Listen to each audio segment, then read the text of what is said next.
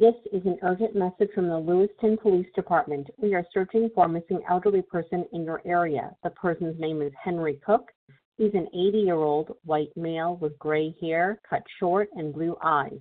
He's about 6 feet 1 inch tall, 220 pounds.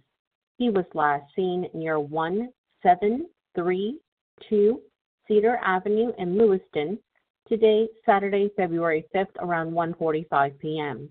He may be traveling in a 2005 orange Dodge Ram 1500 with a plate number of N188929. We need your help. Please check your yard, complex, and vehicle. If you have any information about Henry Cook, you are urged to call the Lewiston Police Department at 208 746 0171.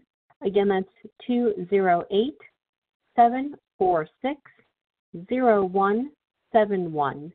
To view this alert, please visit achildismissing.org. Thank you for your help.